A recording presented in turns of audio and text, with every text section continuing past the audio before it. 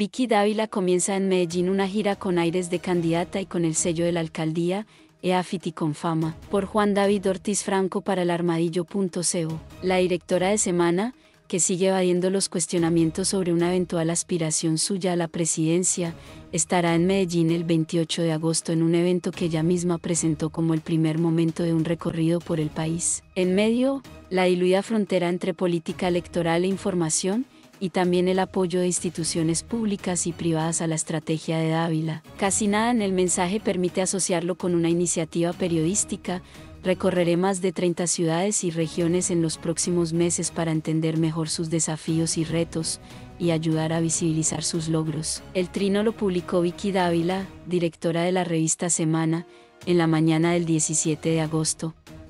Sigue así, lo importante es estar en la calle con los colombianos y tener la oportunidad y el privilegio de escucharlos. Solo así se logra conectar con los ciudadanos. Decimos que, casi nada, suena periodístico porque el asunto admite un matiz, el nombre de Dávila se asocia con medios de comunicación desde hace más de dos décadas y semana, aun con su mutación desde que fue adquirida en 2019 por Gabriel Gilinski, es una de las marcas más reconocidas del periodismo colombiano. Sin embargo, si obviamos el pasado y nos centramos en el mensaje, aparecen los lugares comunes propios de casi cualquier precampaña a un cargo de elección popular en Colombia. Recorreré más de 30 ciudades y regiones en los próximos meses para entender mejor sus desafíos y retos. Lo importante es estar en la calle con los colombianos. Dávila lleva varios meses evadiendo las inquietudes planteadas en diferentes escenarios sobre su eventual aspiración a la presidencia, suscitados también por una encuesta de Guarumo y Ecoanalítica, pagada por semana, en la que la directora de esa revista aparece como posible precandidata, también ha evadido los cuestionamientos porque, de concretarse una candidatura, se estaría catapultando desde la dirección de uno de los medios más leídos del país sin declararles ese conflicto a sus audiencias. En todo caso, más allá del debate y las confrontaciones que ha suscitado la ambigüedad sobre su interés de ser candidata y la apuesta editorial barra diagonal política de su revista, lo cierto es que con su trino Dávila convocó a un evento el próximo 28 de agosto que anunció como el primero de una gira por todo el país. Entonces, no parece cuestión de azar que su primera parada sea en la ciudad que actúa como trinchera de la oposición al gobierno de Gustavo Petro y desde la que se proyecta el impulso de la derecha para retomar el poder en 2026. Además, lo hace con el apoyo de la Alcaldía de Medellín, EPM y el área metropolitana del Valle de Aburra, también de la Caja de Compensación Familiar con Fama Asterisco y de la Universidad de AFIT, que prestará sus espacios. Y eso, la participación de esas organizaciones que pusieron sus recursos para el evento, abre otros frentes de discusión. Por una parte, sobre la destinación de dineros públicos a una iniciativa que se mueve poco en lo periodístico y mucho en lo electoral. Por la otra, por lo que dice su apoyo sobre cómo se ubican en el juego de poder una caja de compensación con más de 1.3 millones de afiliados y una de las universidades privadas más importantes del país, que tiene además un estrecho vínculo con el empresariado antioqueño. De Foro Semana a Foros Vicky, además de las consignas sobre la importancia de recorrer el país y conocer los problemas de las regiones, el Trino de Dávila incluyó una etiqueta que personaliza aún más la iniciativa, almohadilla Vicky por Colombia. Sin embargo, detrás de lo que fue anunciado en esos términos por la directora de Semana hay una estrategia comercial que expone lo que parece un juego a dos bandas de ese medio y de la propia Vicky Dávila. Adriana Garnica, secretaria de Comunicaciones de la Alcaldía de Medellín, le dijo a El Armadillo vía telefónica que se sorprendió con el trino porque desde febrero la administración distrital recibió la propuesta para vincularse comercialmente a un evento de Foro Semana, un producto que existe mucho antes del aterrizaje de los Gilinski y que ese medio califica como los espacios de discusión más importantes del país. El modelo consiste en organizar paneles y espacios de conversación e invitar a instituciones públicas y privadas que pagan por participar en los foros y en la definición de sus agendas. A mí me cogió por sorpresa. Yo nunca hablé con Vicky, siempre hablamos con el área de foros de la revista Semana y con ellos acordamos los ejes temáticos para hablar de los retos de Medellín. No lo veíamos con un tinte político, dijo Garnica. Entonces, le preguntamos si para la alcaldía existió una manipulación por parte de Semana, los compromisos y los ejes temáticos están. Obviamente ella es la directora y los directores de los medios son un gancho desde lo comercial. Pero yo soy ajena a lo de Vicky, respondió la secretaria. Y es que ni en la pieza gráfica que compartió Dávila con los detalles de hora y fecha del evento ni en lo que escribió en su trino hay alguna mención a Foro Semana o a que esa jornada incluya a alguien distinto a ella misma. Garnica nos compartió la agenda temática que, según nos dijo, aún está pendiente de que se definan los voceros de uno de los paneles. El documento tiene el encabezado de Foro Semana e incluye cinco momentos. Primero, las palabras de bienvenida de Carlos Enrique Rodríguez, subdirector de Semana, luego hay tres conversatorios y cierra Vicky Dávila junto al alcalde Federico Gutiérrez. En el listado de invitados a los paneles de conversación figuran los voceros de cada una de las entidades que pusieron sus logos para la iniciativa y otros actores con poder e influencia en la política local y regional. El primero de los tres espacios, que será sobre la situación actual de Medellín y el Valle de Aburrá, reúne a Paula Palacio, directora del área metropolitana, Tomás Elejalde, gerente del metro, y Claudia Restrepo, rectora de EAFIT. El segundo, sobre mujeres y jóvenes, es el que aún no tiene definidos sus participantes. Y el tercero, sobre la visión empresarial, tendrá David Escobar, director de Confama, Ion Maya, gerente de PM y María Viviana Botero, presidenta de ProAntioquia. En resumen, quienes lideran algunas de las entidades públicas más importantes de la región, una rectora universitaria, la presidenta del think tank de los cacaos antioqueños y el director de la tercera caja de compensación más grande del país por número de afiliados, le servirán de teloneros a la conversación entre Dávila y Gutiérrez, pagada por la alcaldía y que la agenda denomina entrevista. Nota, luego de que publicamos este análisis con fama se comunicó con nosotros y nos aseguró que su vocero en el evento no será su director, David Escobar, sino Lucas Yepes, responsable de empresas con fama. Esa información contradice el documento que nos fue enviado por la alcaldía de Medellín en el que su nombre aparece en un panel previsto para las 11 de la mañana del 28 de agosto.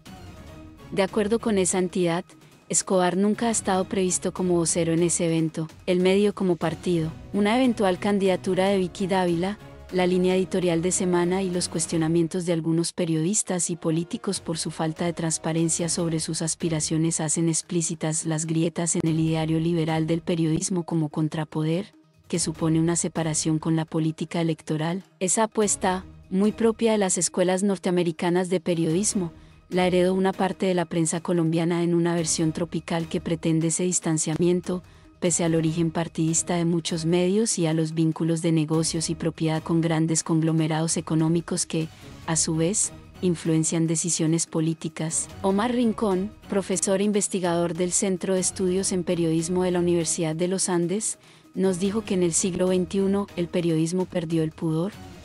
Eso, en el caso de América Latina se profundizó con gobiernos como los de Chávez, Uribe, Correa, Evo Morales y Cristina Fernández. En ese contexto, dice, los periodistas dejaron de ser informadores y se convirtieron en parte de la oposición o de la propaganda política. Y a su juicio, en el caso colombiano, Dávila encarna esa decisión de valerse del periodismo para moverse y posicionarse en la política. Entonces, Rincón propone un paralelo que, si bien abre otros frentes de discusión, la diferencia entre lo público y lo privado, por ejemplo, expone cómo esa apuesta se reproduce en sectores antagónicos. En este momento nadie considera que Vicky Dávila es periodista, así como Halman Morris en RTUS tampoco lo es. Vicky usa a Semana como su plataforma y como su movimiento político, y el tour que va a dar tiene la lógica de mostrar cómo ella es la líder de la oposición política en Colombia. En todo caso, la discusión que ha suscitado Dávila está lejos de ser un asunto cerrado a las escuelas de periodismo. Para resumir apenas algunos episodios podemos retomar su pelea tuitera con Claudia López que empezó en febrero,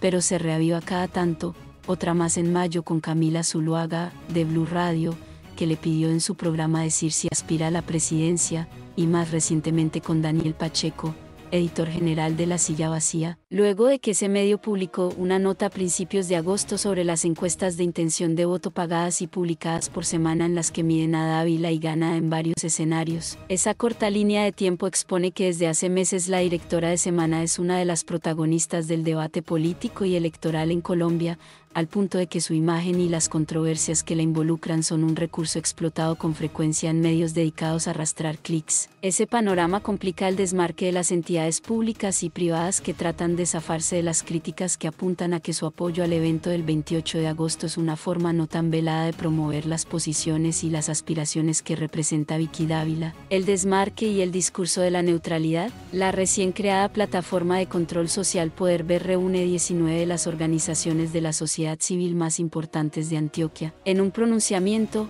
esa plataforma aseguró que las entidades que apoyan el evento son conscientes del lugar que ocupa la voz oficial de la revista Semana en el panorama político nacional y cuestionó la destinación a ese evento de recursos públicos y de los aportes para fiscales que administra con fama. Este apoyo no se puede calificar de ingenuo, por el contrario, revela la matriz en la que se inscriben los intereses que pueden juntar a la revista Semana, a su voz oficial Vicky Dávila, al sector empresarial, el alcalde del distrito y al gobernador del departamento, dice la comunicación. Entre tanto, el colombiano publicó una nota en la que afirmó que el evento puso en aprietos algunas entidades de la ciudad y asegura que consultó a varias fuentes que se mostraron extrañadas porque no era ese tipo de evento el que les ofrecieron. Sin embargo, el armadillo envió un breve cuestionario a todas las entidades participantes y, con excepción de la sorpresa que dijo sentir la secretaria Garnica, las posturas oficiales le hicieron el quite a cualquier cuestionamiento explícito a semana, dijeron no haber tenido en consideración o no haber contado con información sobre una eventual candidatura presidencial de Dávila para el momento en que decidieron apoyar al evento, o simplemente evadieron la pregunta. Para acceder a las respuestas completas de clic en este enlace, a una primera pregunta sobre la forma como se vincularon, todas las instituciones coincidieron en una idea que puede resumirse en su interés de participar en las discusiones de ciudad y región, y a otra, sobre si tuvieron en cuenta una eventual candidatura presidencial de Dávila en el momento en que decidieron participar, respondieron con algo más de matices. El área metropolitana, por ejemplo, dijo que no lo tuvo en consideración y que como entidad no hace parte de esa discusión. Confama dijo en su primera respuesta que destinó al evento 55 millones de dólares como patrocinio publicitario, pero que es neutral políticamente y no participa ni participará en ningún sentido en temas políticos electorales. A la segunda, esa caja de compensación respondió que el análisis y aprobación de esta propuesta se dio antes de que la directora de la revista Semana, Vicky Dávila, comenzará a aparecer en los sondeos de opcionados a las próximas elecciones presidenciales. EAFIT no respondió de forma específica a las dos preguntas que enviamos, pero nos remitió una postura general en la que asegura que recibió una solicitud de la alcaldía de Medellín para facilitar el espacio para un foro regional promovido por la revista Semana, y que decidió hacerlo con la convicción de lo pertinente que es que las entidades regionales puedan tener conversaciones sobre el prospecto de la región omitió en su respuesta que Claudia Restrepo, rectora de esa universidad, es una de las panelistas. Nota, luego de que publicamos este análisis, EAFIT se comunicó con nosotros y nos aseguró que Claudia Restrepo, rectora de esa universidad, no está en la agenda del evento. Esa información contradice el documento que nos fue enviado por la alcaldía de Medellín en el que su nombre aparece en un panel, a las 9 y 20 de la mañana del 28 de agosto, junto a la directora del área metropolitana y el gerente del metro. Finalmente, EPM evadió la pregunta sobre Vicky Dávila. En su respuesta habló de contribuir a la armonía de la vida para un mundo mejor, habló de la importancia de compartir opiniones para el desarrollo y progreso de nuestro país y de la importancia de que medios de comunicación masivos, de amplio impacto y trayectoria de varias décadas en Colombia, se conviertan en agentes dinamizadores para lograr dichos objetivos. En el cuestionario también les preguntamos a las tres entidades públicas, Alcaldía de Medellín, EPM y Área Metropolitana, si destinaron recursos para el apoyo al evento de semana. Todas respondieron que sí, pero sin aclarar el monto. Insistimos y al cierre de este texto el área metropolitana nos precisó que su aporte fue de 50 millones de dólares. La alcaldía de Medellín nos explicó que la contratación no se ha realizado, pero que está previsto un rango que oscila entre 40 dólares y 60 millones de dólares, que depende de algunos entregables que aún están por definir. EPM nos respondió. También le escribimos a Vicky Dávila para preguntarle sobre los enfoques del evento y, específicamente, si será candidata a la presidencia. Hasta la publicación de esta historia no había respondido. Omar Rincón es explícito en su crítica. dice que esos aportes representan un apoyo a Vicky Dávila en el lanzamiento de su campaña política.